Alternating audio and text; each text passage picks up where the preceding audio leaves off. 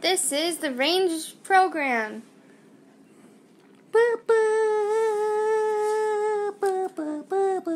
The Ranger program was originally made in 1960s to 1964.